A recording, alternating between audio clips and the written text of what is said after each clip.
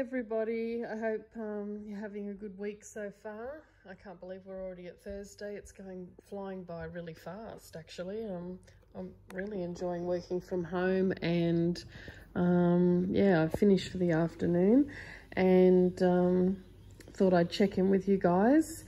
Um, this is just a short floss tube episode. I just wanted to update you on where I'm at with Lucy Calcut 1825. That's the only one I've been solidly working on. Um, so last week when I, um, well the week before when I did my floss tube episode, I'd finished this motif with the birdie and now I've completed the basket of flowers. I think I could have started this flower when I had the episode. Um, but I've finished that now. I just love it. It's really pretty. I just, oh, these are so gorgeous.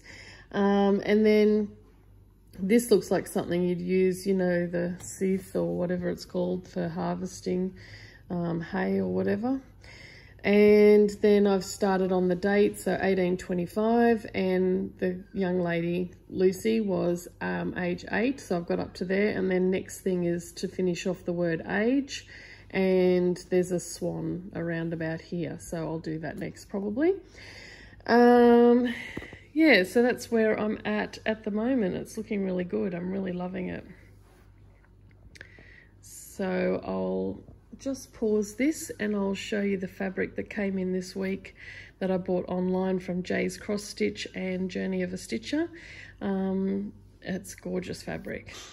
Okay so we've got autumn at Hawk Run Hollow. I really, really, really can't wait to start this. I need to get the DMC for it.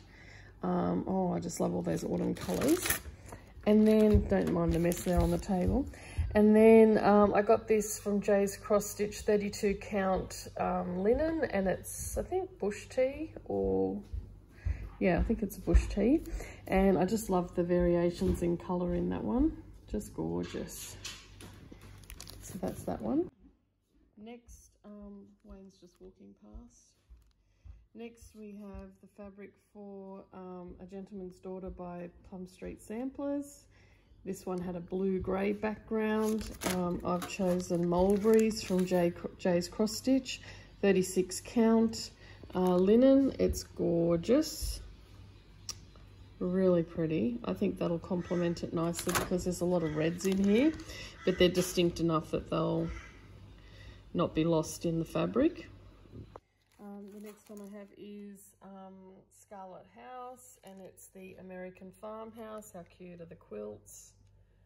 So adorable. And I got um, 32 count Stormy Night in Zweigart Belfast from um, Journey of Across Geneva Stitcher and it's 13 inches by 18 inches. Next we have um, the Scarlett House and it's a Perfect World and I got from Journey of a Stitcher um, 13 inches by 18 inches um, 40 count platinum Zweigart Newcastle and it's gorgeous. It will take a bit of getting used to because it's a lot smaller than the 36 count but um, think that'll be fine. It's a really lovely neutral.